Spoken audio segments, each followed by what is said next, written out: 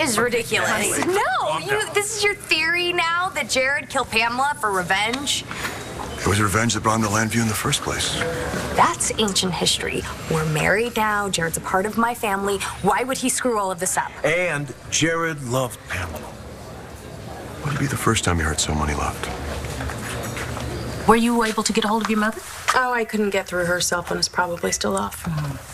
Speaking of phones, Destiny. What? Oh, no, she did not just. Destiny! Put that phone down and pay attention to your family. What's the matter, son? Is it Matthew? Is he all right?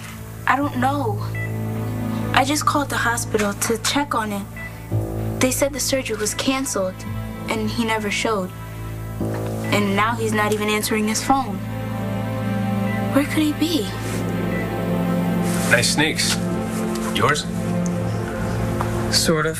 There's no point in wearing basketball shoes if you can't play in them. Yeah, they're nice sneaks anyway. Listen, Matthew, I, I want to talk to you. Um,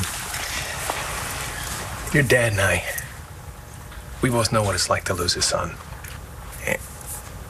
If you could, if you could just understand. Please don't. I, I know exactly what you're gonna say. My dad's afraid of losing me like he lost Drew, and like you lost Duke and Little Ace. But there's something that my dad doesn't get that I think maybe you will. Sure, I'll try. See, my dad doesn't get that if I don't have this operation and try to get my legs back, he's gonna lose me anyway. And uh, what he's doing now is just making it happen faster. Please, girls, it's not going to be a real wedding without the two of you by my side. Langston and I aren't getting married for you. Of course you're not. Besides which, you're underage. No, no, no, no. You will bring Cole, and you can bring Markko. And you can forget it. I can't shake the feeling that this wedding is going to come back and bite you. I don't know how, and um, I don't want to find out. Let's go. I'd better be off. We've got a big gay wedding to plan. Mm. Langston's right, you know. Oh, she's going to come around. Maybe she will, but I won't. I'm not going to let you do this. Oliver? Oliver, Oliver and I are. Oliver and I are over. That's not.